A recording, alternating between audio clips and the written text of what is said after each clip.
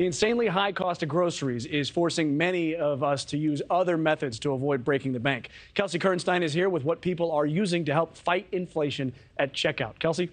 Hey, Mitch. So, yeah, a dozen of eggs costs $4 on average, which for some, that can send a grocery bill over the limit. So, Americans are now using this buy now, pay later apps, which were once very big for purchases like electronics and furniture, to now pay for necessities like their groceries.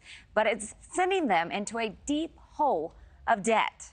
Buy now, pay later apps like Affirm, Afterpay, and PayPal allow for more flexibility consumers have the option to quickly open an account without any impact on their credit score and then pay for goods in installments over the course of several weeks or months. Now, the Bureau of Labor Statistics reports that grocery prices have gone up by 8.4% this past year. And now one in five shoppers rely on these apps to buy groceries. That's 20%. Now, 27% of shoppers use the loans to get from paycheck to paycheck. Peter Dunn, the CEO of Your Moneyline, says that Americans want instant gratification and they use buy now, pay later apps to make a purchase they can't afford.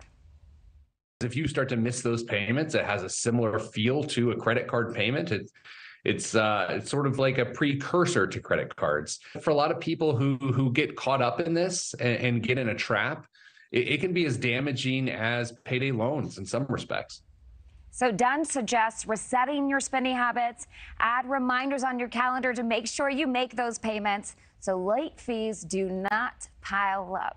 Thank you for watching. Go to newsnationnow.com to find News Nation on your television provider. And don't forget to click the red subscribe button below to get more of News Nation's fact driven, unbiased coverage.